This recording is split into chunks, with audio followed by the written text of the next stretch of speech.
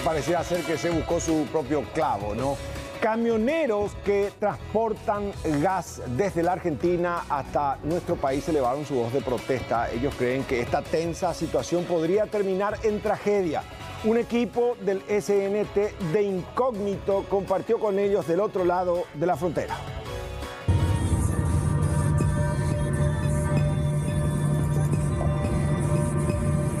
Tenemos ninguna justificación y hablamos con el director de acá de aduanas y tampoco nos dio una respuesta. Llegamos acá y nos encontramos con esta novedad. Y lo que te da en una palabra rabia que no tenemos respuesta de nada. ¿Una chispa? Volamos todo. Volamos todo. No tenemos para dónde disparar. Acá, ¿de dónde sale un camión si hay un peligro? Hay fuego, cualquier cosa. Necesitamos un carro hidrante para que enfríe estos tanques que están acá. Si esto se llega a reventar, nadie se salva acá.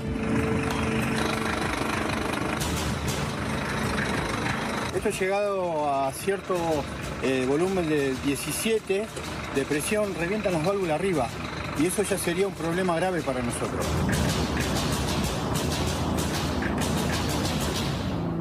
Así se encuentra la situación en Puerto Pilcomayo, en el cruce vía balsa a través del puerto Vitán Ramada. Una veintena de camiones se encuentra aquí aguardando una autorización que dicen no saber de dónde debe provenir para autorizar el paso. El problema es diplomático, pero repercute directamente en el comercio. Y nosotros llegamos ayer. Los compañeros aquí de Osiris están desde el sábado, algunos compañeros de Transcosur desde el domingo. Y así estamos llegando. Están viniendo acá la gente de Movigas, compañeros argentinos, que están desde ayer también. No hay ninguna justificación hasta ahora. de- No, no tenemos ninguna justificación y hablamos con el director de acá de aduanas y tampoco nos dio una respuesta correcta. Normalmente cuando ustedes pasan con este tipo de cargas, ¿cuánto tiempo es la demora? Y generalmente 40, 45 minutos de la demora de- normalmente. Entre pasar, esperar la balsa y todo eso. General- como dijo el compañero, que tardamos más en esperar la balsa para pasar que otra cosa. Y tampoco nadie nos da una respuesta exacta y una resolución por nota para que podamos ver algo, contestarle algo a la gente de Paraguay también. No lo fue. Eh, conflicto diplomático que también les estaba afectando. ¿Y cómo lo podemos tomar? Eh, de sorpresa porque llegamos acá y nos encontramos con esta novedad. Y lo que te da en una palabra rabia que no tenemos respuesta de nada, te repito. Eh, esa es la forma que lo tomamos. De ningún lado tenemos respuesta. Le damos gracias a los compañeros de distintos gremios del camionero de Paraguay que se han acercado, al cónsul paraguayo que se acercó. Eh, esa es la respuesta que tenemos, de gente del lado de Paraguay y de Argentina que tenemos, ah, perdón, el gremio de camioneros acá de, de Formosa se acercó también con agua, con hielo, con de clorinda, con lo, lo esencial. Nos han arrimado los compañeros del Paraguay. De eso les ya muchas gracias a todos. Y después esperando, no tenemos otra cosa que decir. Que no se vea ahí se con el micrófono ahí. Las autoridades argentinas no permiten la presencia de periodistas en la zona. Nuestro equipo llegó prácticamente de incógnito para conocer esta situación. A esto se suma el grave problema de riesgo de explosión debido a la presión de la carga que transportan. De hecho, líderes camineros ya expusieron la situación ante las autoridades argentinas. Pero no tenemos para dónde disparar. Acá, ¿de dónde sale un camión si hay un peligro? Hay fuego, cualquier cosa. De Tenemos escape, toda ¿no? la ruta cerrada. Y acá nadie se preocupa, del lado argentino, ya sea su prefectura, FIBA, lo que, el que esté encargado de esto, no nos está dando las comodidades para nada.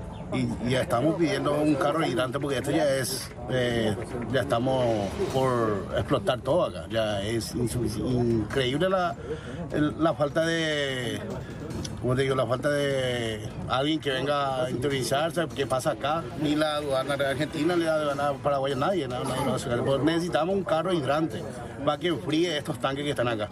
Porque falta, no sé, tres rayas nomás, nada más para que reviente todo esto. Y si esto se llega a reventar, Nadie se salva acá. Acá no hay ni para correr ni un lado. Es una ruta angosta. Del otro lado tener el río, hacia otro lado tener un estero y no hay ni para correr. Decir, es que necesitamos un carro hidrante urgente. Por favor, le pedimos a las autoridades.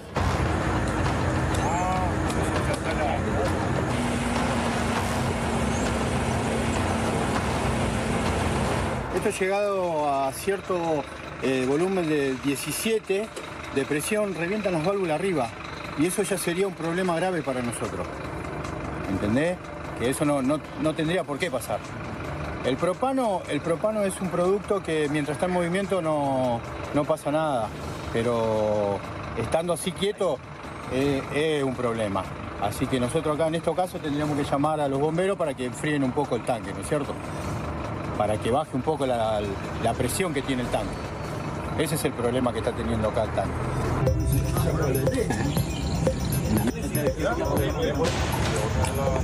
Lo que reportan los trabajadores del transporte es que normalmente este paso fronterizo no debería tardar más de 30 minutos en cuanto al cruce entre territorio argentino hasta territorio paraguayo. En este momento se encuentran 20 camiones, aunque el número podría ir en aumento con el paso de las horas.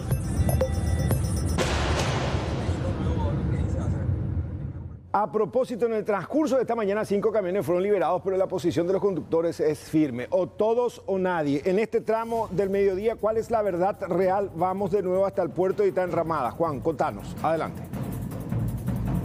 ¿Qué tal, Roberto? Hasta ahora todo sigue igual la situación aquí en el puerto de Itanramada, así como mencionaste. O todos o nadie.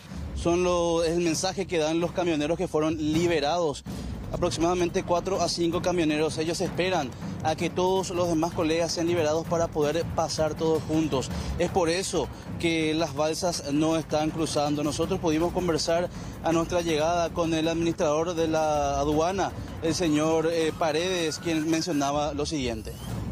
Se liberaron cuatro camiones para que crucen de los 20 que están retenidos y estos cuatro conductores se negaron a abordar la balsa en solidaridad con los otros eh, colegas que no tienen todavía autorización y van a abordar cuando todos estén liberados. ¿Sí puede eh, explicarnos cuáles son los requerimientos que solicitan del lado argentino para que estos camiones puedan cruzar? Por el momento no tenemos, no hay una respuesta oficial. Eh, los rumores que tenemos es de que la autorización tiene que venir del Ministerio de Energía. Y bueno, eso no, no estaba previsto en anteriores operaciones. ¿Es la primera vez que ocurre eso? Sí, es la primera vez. ¿Las balsas de, de, de lado paraguayo por qué no cruzan? Bueno, ahora tenemos una situación que hay un corte de ruta del otro lado en, por la manifestación de los vecinos que consideran eh, preocupante el estacionamiento de 20 camiones de, de, gas por la, la seguridad que eso representa. Ese corte de ruta hace que no esté el tránsito habilitado, entonces las balsas no tienen caso que estén cruzando si es que no pueden. Juan, de hecho estas balsas sirven para carga y transporte de personas. ¿No están luego operando? De hecho, Roberto, nosotros ahora mismo estamos en una de las balsas que estaría operativa. Esta balsa hace cuestión de una hora más o menos cruzó hasta el otro lado y trajo a un camión, pero este camión no forma parte del contingente de los 20 camiones que se encuentran varados. Este transportaba, según lo que tenemos entendido, amoníaco y no formaba parte. Cruzó más o menos en media hora. En, esta, en esta balsa precisamente, que desde que se llegó a estacionar aquí nuevamente no volvió a zarpar. Eh, ninguna balsa más está zarpando ni del lado argentino ni del lado paraguayo debido al cierre de ruta que hay del otro lado y a la posición que tomaron los camioneros compatriotas de no cruzar hasta que sean liberados los demás camiones. Bueno, Rolando Rodino está este, comentando que en este preciso instante Orué, el encargado, de hecho, estarían con la verificación del lado argentino y finalmente en una hora serían liberados los 20, ¿no? Es lo que se maneja con una información oficiosa. Por ahora, Estamos atentos a lo que ocurra en los siguientes minutos. Vamos a estar aquí aguardando cualquier novedad y cualquier movimiento que haya por aquí por la zona estaremos avisándoles, Roberto. Bueno, hasta ese momento. Muchas gracias, Juan.